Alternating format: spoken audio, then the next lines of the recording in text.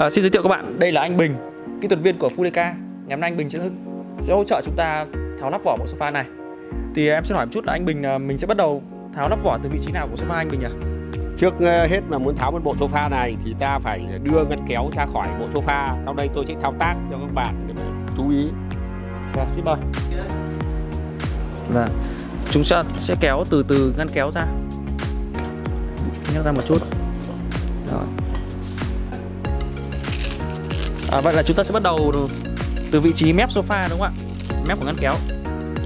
Ở đây các bạn có thể thấy là mép sofa, mép ngăn kéo của sofa sử dụng cái uh, miếng dính như này. Chúng ta rất rất dễ dàng để tháo ra, lột ra dễ dàng. Rồi, vậy là xong. Chúng ta đã kéo được cái miếng đầu tiên. Tiếp đến là chúng ta sẽ tháo phần đệm của sofa. Đấy. Các bạn có thể thấy là mình thao tác rất là nhẹ nhàng và đơn giản thôi. Xong. Vậy là chúng ta tháo ra xong phần đệm của sofa rồi. À, sau khi đã tháo xong phần ngăn kéo của sofa thì tiếp theo chúng ta sẽ đến vị trí nào? Ờ, tiếp theo chúng ta sẽ đến phần tay của sofa, hai bên tay đầu được tháo. À, đây là chúng ta sẽ phần tay của sofa sẽ được tháo ra.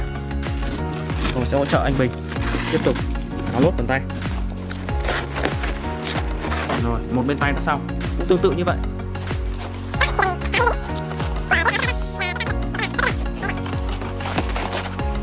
Vậy là chúng ta chỉ còn lại phần thân của sofa. Ngay sau đây, chúng ta tháo lốt phần thân của sofa ra.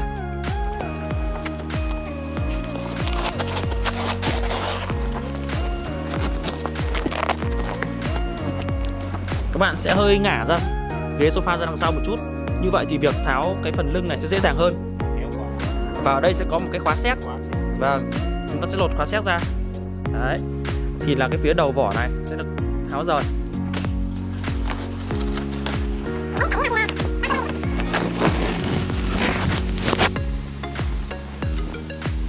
Sau đây là chúng ta sẽ lưu ý đến phần giặt vải của sofa.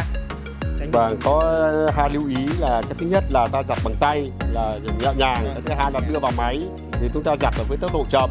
Còn trong quá trình giặt là chúng ta nên bỏ riêng bộ sofa ra tránh thay màu ảnh hưởng đến bộ sofa. Vậy là hai lưu ý rất quan trọng. Đó là thứ nhất là chúng ta giặt nhẹ nhàng bằng tay hoặc nếu mà giặt bằng máy thì chúng ta sẽ nhặt giặt ở cái tốc độ chậm thôi. Và thứ hai đó là chúng ta giặt riêng để tránh bị phai màu cho bộ sofa. Vậy là Cường vừa giới thiệu đến các bạn quy trình tháo một bộ vỏ sofa hết sức đơn giản. Thao tác chỉ trong vòng khoảng 5 đến 10 phút và chúng ta đã hoàn thiện tháo một bộ sofa. Fulica sẽ hỗ trợ các bạn bảo trì tháo lắp vỏ sofa miễn phí chọn đời sản phẩm.